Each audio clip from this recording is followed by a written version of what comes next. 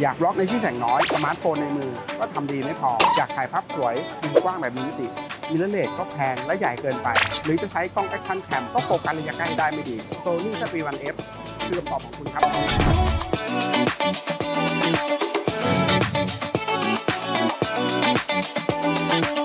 สวัสดีครับ ผมออสลิกนา product specialist นะครับ วันนี้ผมอยู่กับกล้อง Sony ZV-1F นะครับ ซึ่ง ใครหลาย ๆ คนที่ได้ลองอ่านสเปคของ Sony ZV-1F เนี่ยก็รู้สึกไม่ค่อยว้าวเท่าไหร่ แต่เท่าที่ผมได้ลองใช้งานเนี่ยถือว่าเป็นกล้องที่ผมประทับใจและชอบมาก ๆ นะครับ ด้วยการรับภาพที่เป็นเลนส์ 20 มิลเนี่ยทำให้เราสามารถทำ vlog ได้แบบครบและสมบูรณ์แบบครับ ไม่ว่าจะเป็นในเรื่องของการโฟกัสระยะใกล้นะครับ ซึ่งถ้าเราไปเทียบกล้อง Action Cam เนี่ยถ้าที่เป็นเลนส์มุมกว้างเนี่ย เวลาเราเข้าใกล้มาก ๆ เนี่ย มันจะโฟกัสไม่ได้นะครับ แล้วก็เรื่องคุณภาพของภาพ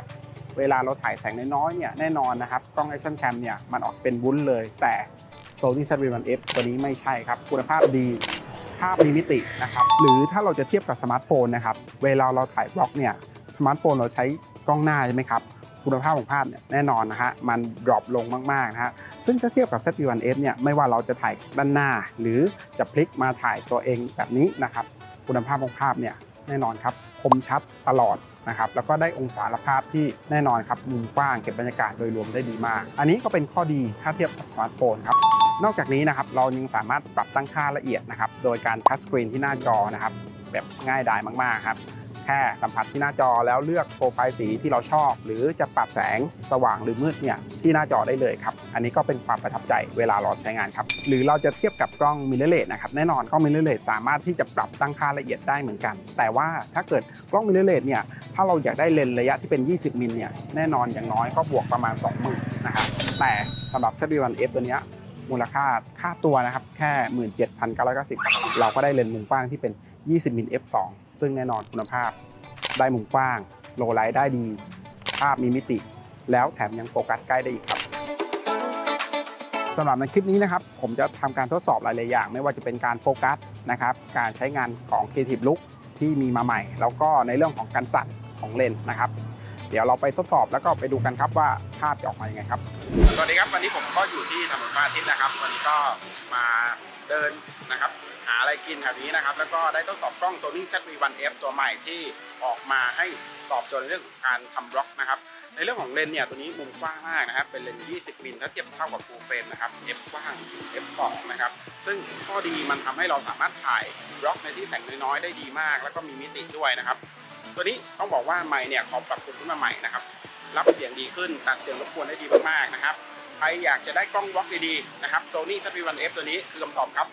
สวัสดีครับ วันนี้ผมอยู่กับกล้อง Sony ตัวใหม่นะฮะ ZV-1F นะครับ ซึ่งเป็นกล้องที่บอกได้เลยว่าเป็นกล้องบล็อก ถูกใจสายบล็อกแน่นอนนะฮะ ตัวนี้เป็นเลนส์20 มิลนะครับ f2 นะฮะ ต้องบอกได้ว่าเป็นกล้องที่เก็บเสียงได้ดีมากๆนะครับ ไม่ว่าจะเป็นในเรื่องของ เวลาตัดเสียงรบกวนนะฮะ ตอนนี้ผมอยู่ในที่ที่แบบว่ามีเสียงรบกวนค่อนข้างมากนะครับ มีด้านหลังผมเนี่ยเป็นเสียงของรถผ่านนะมีเสียงทำเสียงเครื่องยนต์นะฮะดังมากๆนะครับอะเดี๋ยวผมจะเดินไปเรื่อยๆนะครับว่า อยากจะทดสอบการรับเสียงของตัวกล้อง อยากให้เห็นว่าเวลาเรามองสถานที่จริงๆเนี่ยกับกล้องดีๆแบบนี้นะครับโหเสียงดังมากข้างหลังผมมีเสียงรถกำลังทำงานนะเสียงเครื่องยนต์กำลังสตาร์ทอยู่ นะครับเสียงทำเสียงทุกอย่างนะครับวุ่นวายมากๆแล้วเข้ามาสถานที่จริงๆเลยนะฮะตอนนี้นะครับผมใช้ตัว Sony Clip VPT 2BT นะครับซึ่งคลิปตัวนี้ต้องบอกว่าใช้งานสะดวกมากนะครับ สิ่งที่เขาให้มานะครับอย่างแรกเลยนะฮะคือปุ่ม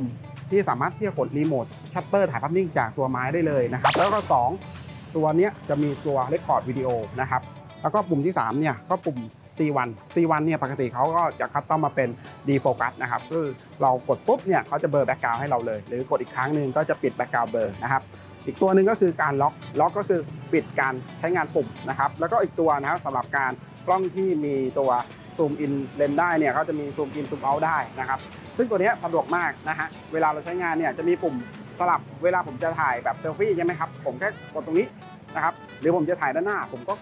กดค้างไว้แล้วผมหมุนกล้อง อันนี้เป็นความสะดวกที่แบบใครๆผมว่าโดนใจมากๆฮะซึ่งการใช้งานเนี่ยเวลาเราจะตั้งโต๊ะเนี่ยนะครับ เราก็สามารถที่จะกางขาตรงนี้นะครับกางขาพับวางตั้งโต๊ะได้ แล้วก็กดด้านข้างเนี่ยเพื่อปรับองศาปรับมุมนะครับ ในการใช้งานให้เข้ากับองศาการาถ่ายของเราให้ออกมาสวยงามได้นะฮะและที่สำคัญนะครับคือมันสามารถที่จะใช้เป็นไวเลสได้ก็คือเราสามารถถอดไม้เนี่ยนะครับออก จากตัวกล้องนะครับ แล้วสามารถกดถ่ายจากระยะไกลๆได้นะครับ นี่เราแค่ถอดตัวนี้ออกมา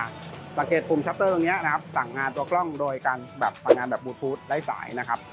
สามารถกดถ่ายจากตรงนี้ได้เลย กดซูมจากไม้ได้เลยครับ ต้องบอกว่า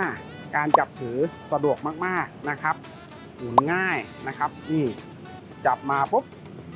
เราก็กด record ได้เลยสำหรับการทำ vlog นะครับ ซึ่งไม้ Sony VPT2BT ตัวนี้ต้องบอกว่า ใครที่ซื้อ Sony ZV-1F ต้องซื้อตัวนี้ด้วย คุณจะใช้งานได้เต็มครบฟังก์ชันครับผม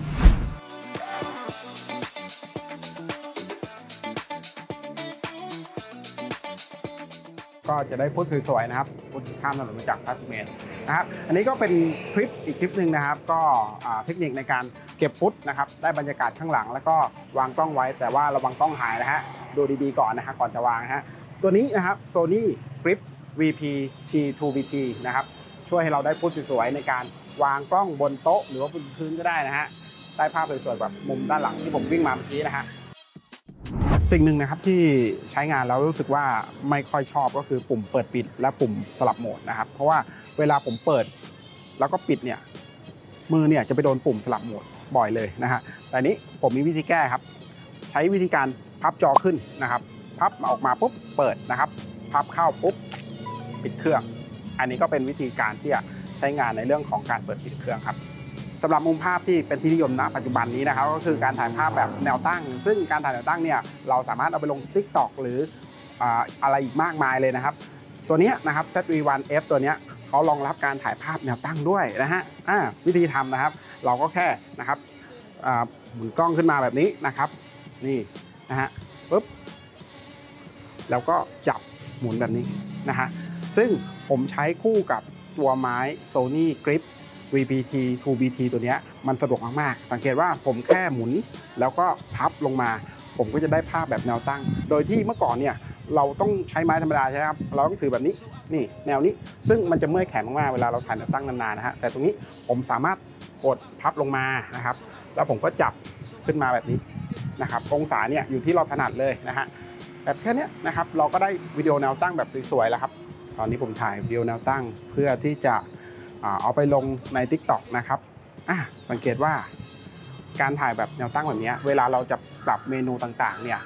เราจะต้องเข้าเมนู ซึ่งถ้าเป็นรุ่นก่อนหน้านี้ใน ZV-1 เนี่ยเราต้องเอื้อมเข้าไปที่หลังเมนู แล้วก็ไปกดใช่ไหมครับ แต่ตัวนี้ไม่ต้องครับ เราสามารถแตะที่หน้าจอนะครับ ต้องการเพิ่มลดแสงเนี่ยสามารถทัชโอเปเรตที่หน้าจอได้เลยสำหรับมือใหม่เนี่ยผมแนะนำเลยนะฮะการปรับแสงง่ายมากๆครับหรือจะปรับโทนนะฮะ ปรับโทนภาพ ก็สามารถแตะที่หน้าจอแล้วปรับโทนได้เลยนะครับ ว่าเลือกโทนแบบไหนนะครับ ซึ่งตัวนี้ต้องบอกว่าเป็นความพิเศษของ ZV-1F ซึ่งตัวนี้มันจะเป็นรุ่นแรกที่มีมาในกล้องที่เป็น compact แบบ vlog นะครับ ซึ่งบอกได้เลยว่ามือใหม่เนี่ยใช้ง่ายมากๆครับ Sony ZV-1F นะครับ นอกจากเราจะ touch คำสั่งที่หน้าจอ โดยการปรับแสงปรับในเรื่องของ skin tone อะไรแล้วเนี่ย เรายังสามารถที่จะ ในเรื่องของ touch operate เมนูได้ทั้งหมดนะครับ ต้องบอกว่านี่เป็นความว้าวของ Sony ZV-1F เลยนะครับ เนี่ยผมเข้ามาที่เมนูกล้องแล้วผมก็สามารถที่จะเลือก Quality นะครับ ผมจะเลือกความละเอียดของภาพนะครับ หรืออจะเลือกขนาดไฟล์นะครับ ตรงนี้เราสามารถที่จะ สั่งงานผ่านหน้าจอตรงนี้ได้เลย อันนี้เป็นความพิเศษมากๆนะฮะ การทัชโอเปเรตแบบนี้นะครับ เหมาะมากๆเลยสำหรับคนที่ถ่ายเซลฟี่แล้วอยากจะปรับเมนูเนี่ยมันเพิ่มความรวดเร็วมากๆ เราแค่กดเมนูแล้วก็เลือกฟังก์ชันที่เราต้องการปรับเนี่ย อันนี้ง่ายมากๆเลยครับ อีกอย่างหนึ่งนะครับที่ผมชอบมากเลยก็คือตัว Creative Look นะครับตัวนี้นะครับ มันจะมี Creative Look ตัวใหม่ที่ผมชอบมากๆเลยก็คือ film look นะฮะนี่นะครับก็จะมีไล่กันไปนะครับ vivid นะครับ vivid 2นะครับ film look อ่าเลยนิดนึงอ่าตัวนี้นะฮะสังเกตว่าอ่าโทนของเขาเนี่ยจะออกมาแบบเป็นฟิล์มของการถ่ายหนังจริงๆนะครับ ลองแล้วผมชอบมากเลยนะครับ โทนของเขาเนี่ย ตัว Creative Look ที่เป็นตัว film look ตัวนี้นะครับ สามารถใช้งานได้ทั้งในโหมดของภาพนิ่ง แล้วก็ในส่วนของงานวิดีโอได้ด้วยนะครับสำหรับใครที่ชอบ Creative Look แบบไหนนะครับ ก็สามารถเลือกตามความชอบของเราได้เลยนะครับ นี่เราก็จะได้โทนที่เราชอบนะครับ สำหรับใครนะฮะที่ชอบสีสดนะครับ ตัวนี้ก็สามารถเลือกวิวิดตัวทีหนึ่1 ได้นะครับ ซึ่งการใช้วิวิดตัวที่หนึ่งเนี่ยคอนทราสต์มันจะค่อนข้างจัดนะครับ สังเกตว่าสีต่างๆเนี่ยโอ้สีสดมากนะฮะแต่ถ้าเกิดว่าใครเนี่ยนะครับที่อยากได้ในโทนที่แบบสีสดด้วยแล้วก็ ให้ดึงช่วงในช่วงของเงาเงามืดเนี่ยดึงขึ้นมาเนี่ยมันสามารถเลือกวิวิดสองได้อ่าเดี๋ยวผมถ่ายวิวิดสองให้ดูนะครับตอนนี้ผมเลือกวิวิดสองนะฮะสังเกตวิวิดสองเนี่ยมันจะดึงในส่วนของส่วนที่เป็นเงานะฮะเงามันจะไม่จมไปกับตัวตัวฉากหรือว่าตัวเสื้อผ้าเนี่ยมันจะดึงขึ้นมานะครับ อันนี้ก็จะได้สีสดด้วยแล้วก็ได้ช่วงที่เป็นเงาเนี่ยจะมีรายละเอียดมากยิ่งขึ้นด้วยครับ อยู่ที่ความชอบนะครับ อันนี้ก็เป็นอีกไอเดียหนึ่งสถ้าใครที่ชอบสีสดนะครับ อยากได้สีสดแบบมีคอนทราสต์ก็เลือกวิวิดหนึ่งนะฮะอยากได้สีสดแบบมีคอนทราสต์น้อยๆนะครับก็เลือกวิวิดสองนะครับซึ่ง Sony ZV-1F ตัวนี้มีให้เราเลือกทั้งสองแบบเลยครับ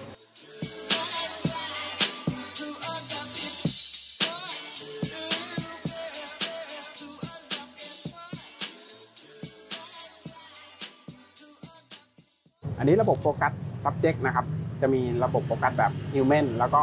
animal นะครับ ซึ่งในการเลือกโฟกัสแบบ animal เนี่ย เวลาเราถ่ายน้องหมา น้องแมวที่บ้านเนี่ยนะครับ นี่ นี่เขาจะโฟกัสที่ดวงตาให้เลยนะครับ ซึ่ง Animal Focus เนี่ยจะทำงานในส่วนของภาพนิ่งนะครับ อันนี้คือข้อดีนะครับ ที่กล้อง Action Cam ทั่วไปเนี่ยทำไม่ได้นะฮะ สังเกตนะฮะ ถ่ายโฟกัสระยะใกล้มากๆ เราได้ฉากหลังที่แบบว่าเลอด้วยนะ มีมิติด้วยนะ นี่น้องเหมียวนอนได้ถ่ายแบบไม่ดิ้นเลย กำลังง่วงกำลังง่วงนี่ส่วนในเรื่องการสั่นนะครับหายวงมากๆ เพราะว่าเท่าที่ลองถ่ายมาตลอดงานเนี่ยคือไม่ว่าจะเดินถ่ายหรือแสงน้อยนะครับ เวลาเดินถ่ายเนี่ยภาพก็ยังคมนะครับ ถ้าเทียบกับกล้องร็อกที่ในเลนส์เดียวกันเนี่ยถือว่าทำได้ดีกว่ามากๆ ในส่วนของมุมภาพเนี่ยนะครับ เรายังได้ภาพที่เป็นมุมกว้างแล้วเนี่ยสังเกตว่าหน้าเราเนี่ยไม่เบี้ยวนะครับ ถ้าเกิดเป็นกล้อง Action Camera เนี่ย ฉากหลังมันดูกว้างจริง แต่ว่าตัวแบบหรือโครงหน้าเราเนี่ยมันจะบิดเบี้ยวตามโครงสร้างของเลนส์นะครับ ซึ่งอันนี้เป็นข้อดีของกล้อง ZV-1 ที่เป็นเลนส์มุมกว้างแล้ว องศาภาพหน้าเรายังโอเคไม่เบี้ยวนะครับ Sony ZV-1F นะครับในส่วนของฟังก์ชัน Product Showcase นะครับก็